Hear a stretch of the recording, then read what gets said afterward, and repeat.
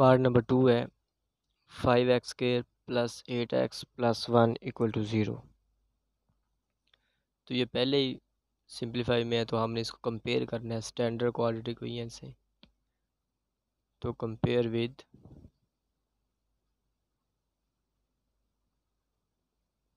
किससे कंपेयर करना है? ए एक्स के plus B X plus C equal to zero से। तो हम यहाँ ए बी सी की वैल्यू निकाल लेनी है। तो एक्स का कोफिशिएंट एक्स केयर का फाइव है, यहाँ पे है तो ए किसके इक्वल होगा फाइव के। बी से कंपेयर करो तो बी इक्वल टू होगा एट और सी की वैल्यू होगी वन तो इन सब ए बी सी की वैल्यू को हमने क्वाड्रेटिक फार्मूले में पुट करना होता है तो वो हमारे पास क्या होता है? X equal to minus B plus minus B square minus four A C square root divided by two A तो जहाँ जहाँ भी वैल्यू है, वहाँ पर पुट कर दें इनकी।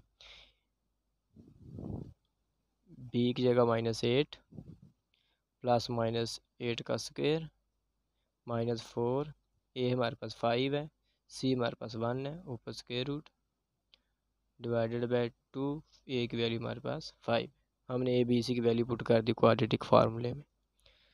जी सिंप्लीफाई करें तो minus eight plus minus eight का स्केयर हमारे पास sixty four minus five four ज़ा ट्वेंटी ट्वेंटी वन ज़ा twenty divided by five two ज़ा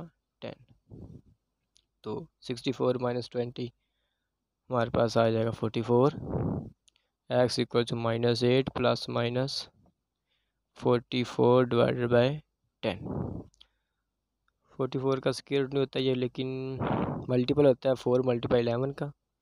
तो हम इसको ऐसे लिखते हैं minus plus minus four multiply eleven divided by ten तो फोर का स्केयर टू होता है और इलेवन प्राइम नंबर है।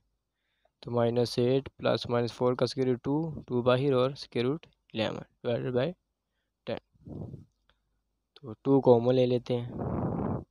टू कॉमन लेंगे तो यहाँ पे माइनस फोर प्लस माइनस ये टू बाहिर तो पीछे स्केयर रूट इलेवन और टेन तो टू वन ज़ा टू टू फाइव ज़ा टेन तुम्हारे पास minus four plus minus square root eleven divided by five तो फाइनल सोल्यूशन ये हमारे पास बन जाएगा।